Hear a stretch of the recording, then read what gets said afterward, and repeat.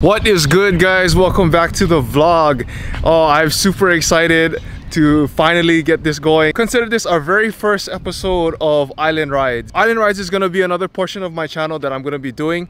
Uh, I'm pretty much gonna be going around meeting up with friends, meeting new people, and pretty much just showcasing everybody's cars, everyone's builds. Hawaii is the melting pot of the world and it shows in culture, it shows in food, and it pretty much shows in everything, everything about Hawaii and part part of it is cars and that's why I'm gonna be doing this so to say hello to this baby right over here I'm not gonna lie guys you guys ears might hurt later on say hello to my boy Aaron what's up everyone say what's up Aaron, tell, tell everybody about your car. So this is a 2007 Mustang GT. Yeah, I got it in my senior year of high school.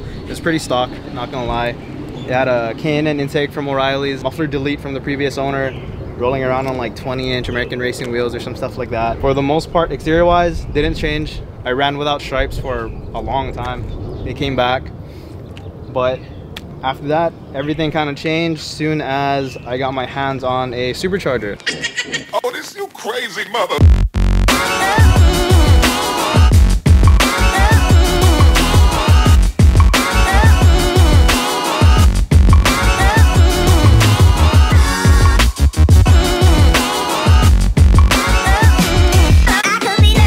So personally, I've known this car for a really long time. And this, I swear to God, this car has been through so many setups.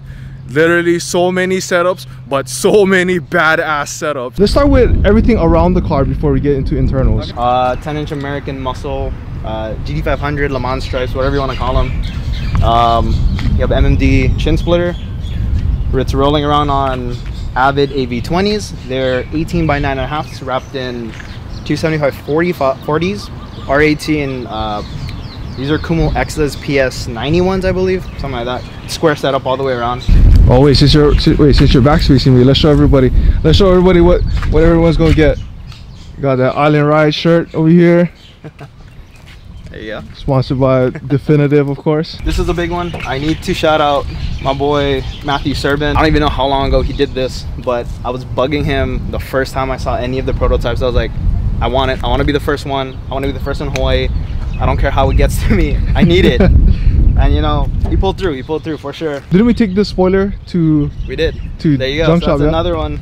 So shout out to Junk Shop Pros. Like dropped it off, honest to God. Like two days later, called me up. It's done. Picked it up, threw it on. It's where she sees right now.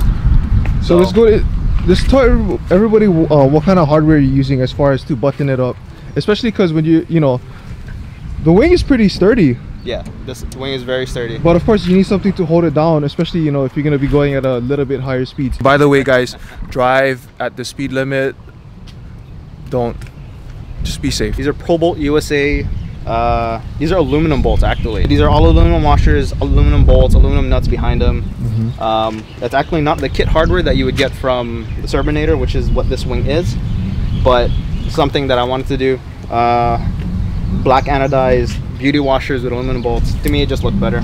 Basic stuff. Uh, Raxiom Gen 5 tail lights. Other than that, I mean, the, the outside's fairly stock. So just to educate everybody, S197s had uh, three different model years. They were from 05 to, 9. to 9, and then 10 to 12, and then 13 and 14. I will say this now. I will feature one of my very first cars on this video. I'm just putting it out there to the universe because I really want to get that car back. I, even if I don't get to own it yet, I really want to drive it again and I just want to put you guys into, I guess, what I started with. I pretty much went off from owning a Mustang, you know, with my GTR, but like, dude, this guy's been working on his car since high school. Like, it's fucking ridiculous. This car is badass all the way around. Let's get into the badass mods now. So let's start with the trunk. For anyone says anything, yes, it's fully stripped. I needed room. I Need the battery in the back. That's all right. Weight have, reduction. There you go. There you go. Weight reduction. I need the space in the front so the battery had to come to the back. But this is crowning jewel back here. This is the AM Performance Water Meth Kit. Uh, this is all on custom bracketry, custom wiring. Everything is set just for this car. Set exactly where I want it honestly this used to be somewhere in the front i hated it there it was hard to do and it was hard to fill when i needed but back here good stuff tank pumps right behind it and i mean There's a reason why I have it, and we'll get to that when we get to the front. One thing too, Aaron's really crafty with fabricating stuff. So like if you guys if you guys go ahead and take a look right over here, you fabricated pretty much the bracket to mount on the Yes. on the car, yeah? Yes, everything is all custom fabricated. All the Nice. well, I would say actually 100% of the bracketry on this car that holds things that aren't off like obviously there's like off the shelf bracketry. Everything else is all 100% custom built Mhm. in my garage. So We'll save exhaust for the end. Let's go let's go in the front. I actually forgot to mention this one. So Oh yeah, the hood. this was a stock hood originally. I was running into a lot of overheating issues. One day I got bored. I was like, just cut a hole in the hood. So I mean, that's exactly what happened. So Look at that. chopped it right down here, bent the bent the sheet metal in, plated it up. Again, Junk Shop Pros LLC. Cannot thank them enough. Every single painted piece on this car perfectly matched, and you know they do great stuff. So big up to them. Yup, I can attest to that. Damn right. So So actually before we even open the hood, how many hoods have you gone through? Cause I oh, swear Oh, So I had my original stock hood, which had a scoop. Then I went scoopless. Uh, then I went to a fiberglass hood. Went back to stock hood with no scoop, and then finally came to this. Mind you, each of those iterations had a completely different paint scheme. Stock paint, scoop with stripe. Stock hood, no scoop, no stripe. Fiberglass hood was all white. When I went back to a stock hood, it was carbon fiber. That came off. It was back to white, but it was a really shitty white. And then finally comes back to this. So lots of changes here. All right, let's show everybody Okay, show everybody the Uh, the, the prized possession. there you go. So it Woo! is, it is messy. Saleen Gen 6 supercharger. This was the supercharger acted specifically for the 05 to 10, any of the three valve models. Um, this one's a little weird.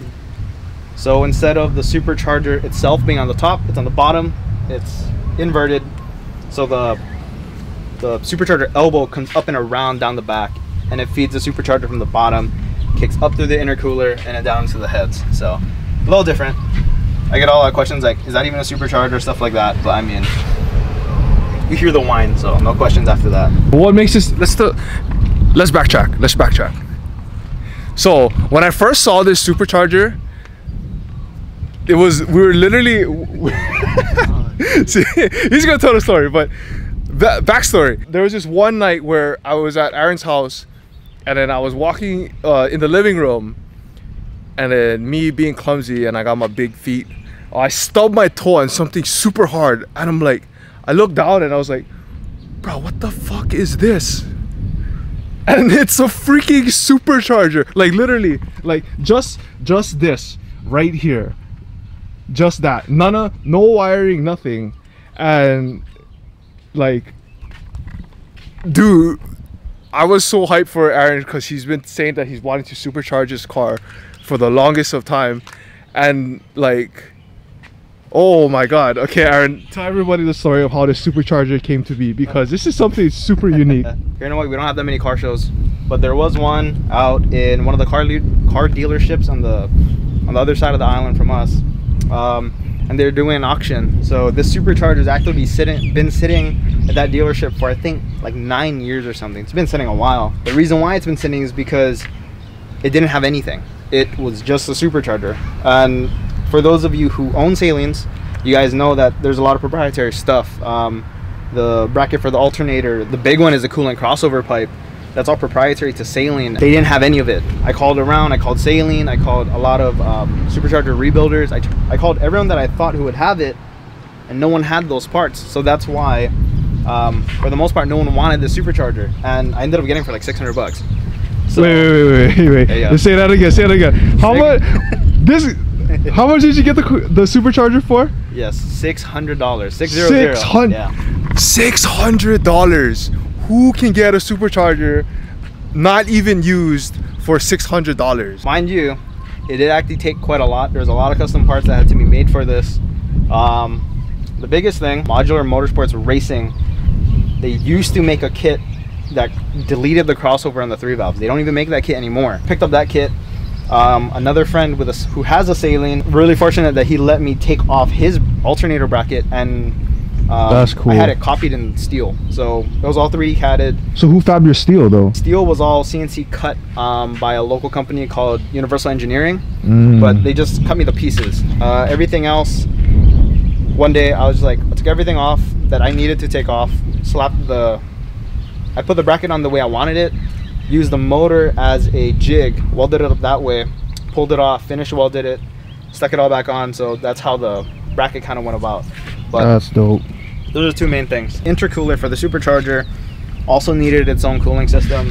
So that's why the battery's in the back now. So I have a nice little big, I believe it's a one gallon Moroso aluminum supercharger coolant tank. So originally when I first put this all together, it had a, it, uh, it's called an auxiliary water pump for like Volkswagens and Audis use them. It was cheap, it was like $12 and I was like, this will work, whatever.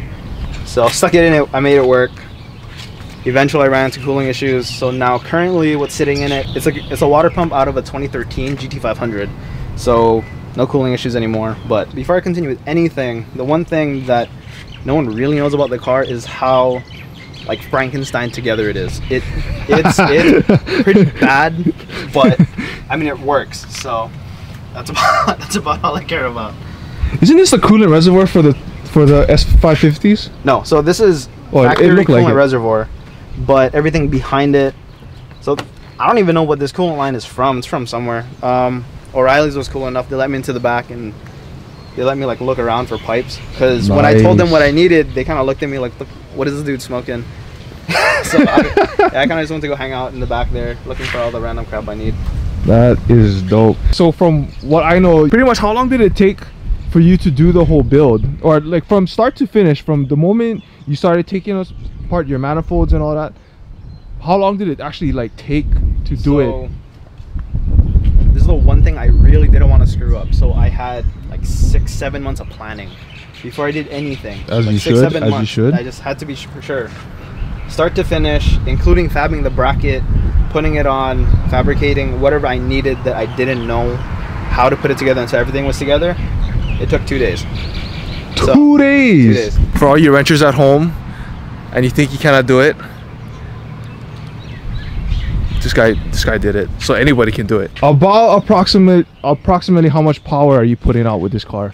First time this car ever hit the dyno, it made 305 horsepower, 320 foot-pounds of torque, if I remember correctly. So this was done in steps. Originally, when I first put this put this car together, um, it had a five-pound pulley on it.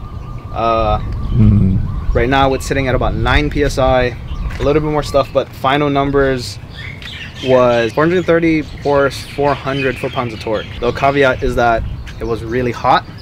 I'm not gonna say that's an excuse for making like numbers, but the worst part is like really like two days later, I destroyed the clutch because Oh yeah, I remember that. Yeah. I remember that. just absolutely destroyed the clutch. The guy at the dyno said that my clutch might be slipping. I didn't really believe him. I just thought maybe I'll make less numbers. But I was coming home one night and just no clutch. the little pull and just oh cool, I don't have a clutch now. Rad. So I, I don't know what it is now. So, So pretty much for transmission, you're running what a stage two clutch. no, everything about the transmission is stock except for a uh, Blowfish Racing bracket and a Hurst shifter, but Nice. it's running a McLeod RST, not XT. I should have gone XT, but whatever. But What's the difference? So the. RST is a street clutch. Street is what they call it. It holds up to Mm. 800 horse. The RXT is rated for 1200 or 1000, something like that. I should have went with that because right now I'm have I'm actually having slipping issues, but it's not too bad. So for a while this car had a lot of cooling issues. So these cars are actually infamous for blowing the BECs. BEC stands for bussed electrical connector, and it sits right underneath the fuse box, and mine melted. I know you went through a lot, yeah. Yeah, I You went, through a lot. I did a lot of random stuff trying to figure this out. So I went, so upgraded the radiator. It's currently running a Mishimoto radiator. I upgraded the um, cooling fan right behind it, which is also out of a 2013 GT500. Um, all of that was great. Didn't actually work. Um, kept blowing fuses. So I built a brand new, like a standalone fuse box that worked for a little bit. That also ended up not working. So the final iteration, granted it's super ugly, it works. is a self-resetting fuse and um, relay combination from Painless Performance. So Nice. good for them. They make a pretty badass kit. If any of the other three valves have this issue, this is the way to go. This has absolutely no issues ever since I did this. So Now, this is of my favorite part of the car. This is gonna be my favorite part right here. Oh my god, wait, we gotta get this, we gotta get this, we gotta get this.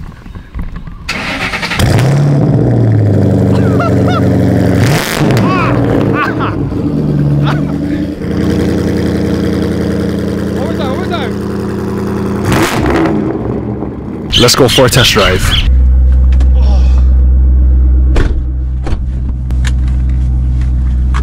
It's been a while since I've driven stick. These seats are stock, yeah? no, these are these are S550s. Oh yeah, these are S550s. NRG wheel. Sick. This actually feels really good. Yeah. Like, Shout out to Ref Hawaii. oh, you ordered this through Ray? Yeah. Oh, nice. Damn right, dude. I think I can hear now, but what kind of exhaust are we running? So this is a, I think it's a center off-road H pipe um, that had to be cut down because to make clearance for the supercharger under the hood, it's running one-inch drop mounts. So the H pipe Nice. is cut an inch to be raised to be you know taller.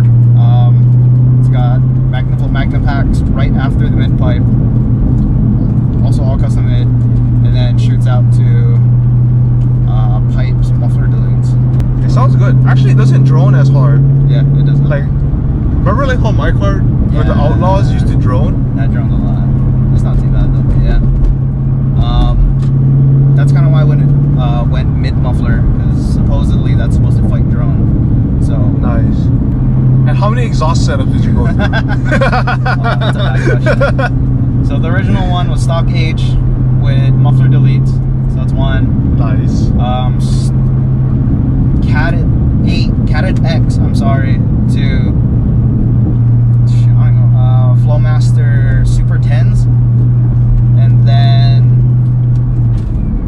catted X to Magnaflow dumps, Magnaflow full exhaust, so straight out the back, then I finally went Catless X to mid mounted Magna packs, and then off road H to current setup, so that's seven.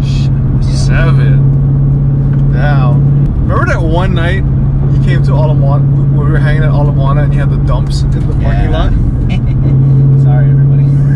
Dude, okay, so Aaron had these dumps, like, oh my god, it was what, from the mid pipe? Yeah, it Just a straight dump, right? It just turned straight down to the ground. Yeah. So like we're uh pretty much we were at Ala Moana in the parking lot and like this fool pulls up and he he comes up, stops the car, and he's just like "Rah, rah, rah, rah, rah, rah." like literally the ground was shaking like oh bro like, that was the most best feeling ever though like it was okay we were hoonigans before you know we're we're adults now. We're adults now but damn this thing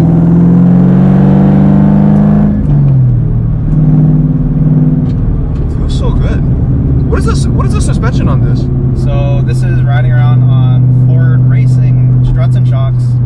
Um, also not they're off the shelf shocks, but the front struts are cut to make room for ground control racing sleeves. oh yeah yeah So it's on ground control racing sleeves on Eibach. I don't remember what.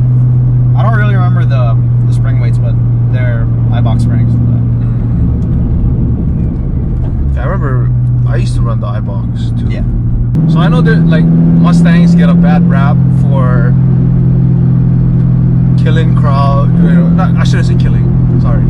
I know Mustangs get like a bad rap for just being too obnoxious in the crowds. But when you really think about it, I, I, I kind of because I used to be a Mustang owner, and I know that there's always there's always just that joke of oh you're gonna run into the crowd, but really, it's not. I don't. I honestly believe it's not the car, it's the drivers, You're not wrong, man. right?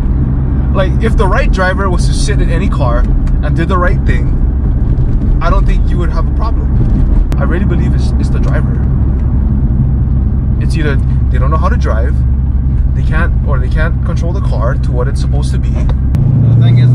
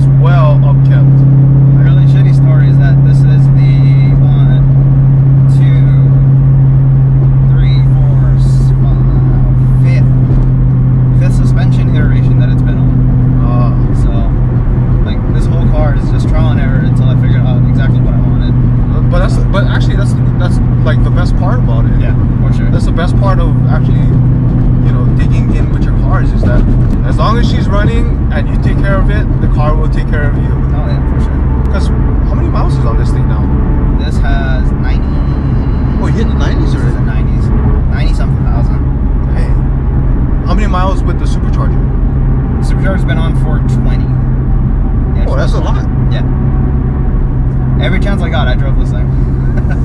Damn right, you should. In other words, guys, drive your cars. Drive your cars.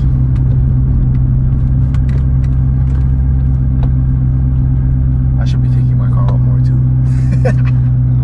this thing's a beater. So like. So yeah, from actually like seeing this build come about from like way back when, like literally, this is it's a testament to like labor of love, you know. Oh yeah. But for this car, this car is something special.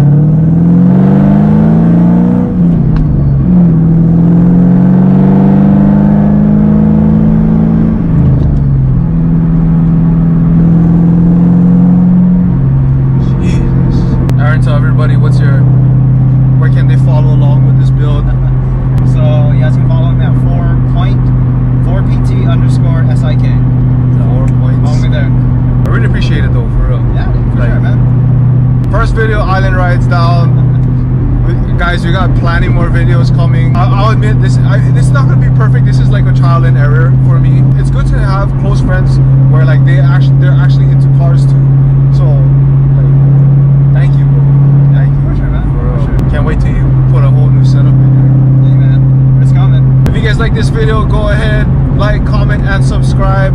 More so, share.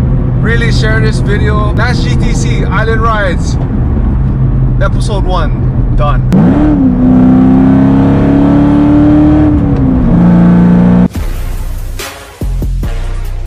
Hold up, I almost forgot something. If you guys made it this far, hit that subscribe, make sure you ring the bell, share this with 10 people, and let's build this channel together, guys. Can I get a two-step?